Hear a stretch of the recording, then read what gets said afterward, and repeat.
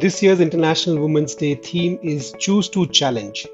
And I thought it would be interesting to provide you with few facts that shall help you challenge better. Hi, I am Prashant Uttekar, a learning enthusiast, and you are listening to the Relearning Podcast. International Women's Day is on 8th of March, so here's my attempt to motivate you through these facts to take a positive action and challenge the status quo. These facts are published by credible sources such as United Nations and so on.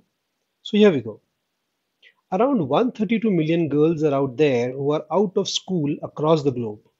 In the entire spectrum of illiterate population, that women account to two-thirds of this figure.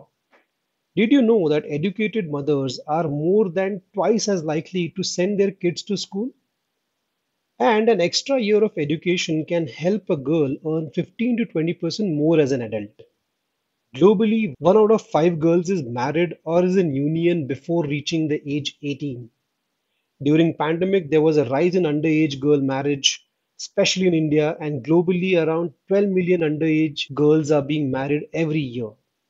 Female infanticide that is a deliberate killing of female child is still a cause of concern even in 2021 especially in china india and pakistan domestic violence is still not a crime in more than 20 countries around 5000 women and girls are killed every year for perceived dishonor to their family women make 20% less money than men for similar job and if the current situation does not change, this pay gap shall remain until 2059.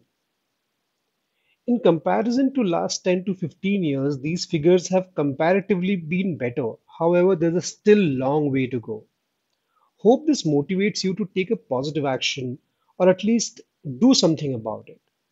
Do plan or attend an International Women's Day event, uh, probably support a non-profit, and of course spend the quality time with your loved ones you know on a personal note i'm thankful and grateful to the women in my life my courageous and powerful mother my rational strong and loving wife my free spirited mother-in-law utmost care by my sister-in-law and the ever pouring unconditional love by my daughter hope you take an appropriate action this women's day and choose to challenge and spend those special moments, few moments to thank the women in your life. Until next time, this is Prashant Uttekar. Keep relearning. Bye.